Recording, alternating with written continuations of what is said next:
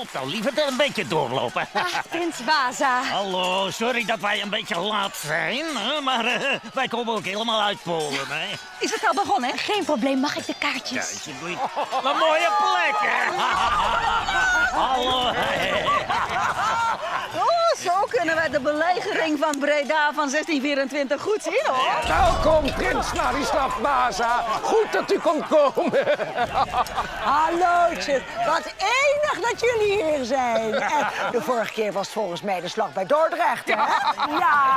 Ja, ja, ja, ik ben gek op die belegeringen. Oh. Zo spannend, die wil ik niet missen, hè? Ja, wij doen ook altijd ideetjes op voor thuis. Ja, ja, ja, ja. Zo leren wij heel veel, hè? Van, die, van die drill, van die manier van oorlog voeren, van die loopgraven. Hè. Die Nederlanders, die lopen voor op heel Europa. Zeg, zeg, zeg. Maar zijn jullie nou voor de Nederlanders of voor de Spanjaarden? Voor allebei.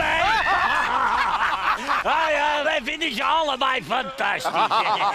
Oh, dat gaat er flink aan toe, hè. Hebben, hebben wij iets gemist? Het is al elf maanden bezig. De mensen in Breda hebben allemaal scheurbuiken.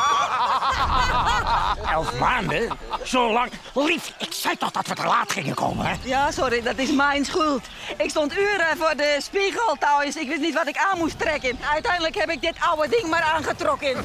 Oude ding, het is schitterend en het staat je geweldig. Ah, dank u wel.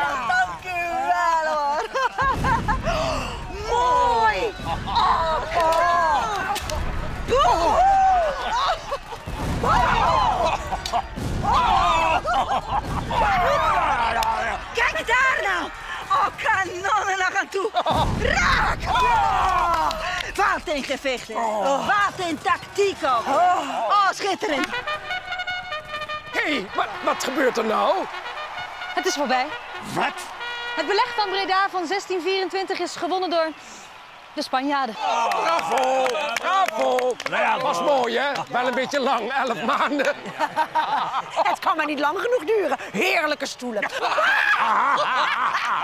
Nou, proficiat, hè. Op de winnaar. Na zdrowie. Ja. Zeg, wat doen jullie met eten? Oh, ik heb een hekel aan alles dat Spaans is. Oh ja? En de paella dan? En de tapas? Oh ja. En de wijnen? De stranden? De gitaren? De flamenco? Olé! Ja, maar verder vind ik Spanje helemaal niks. Olé!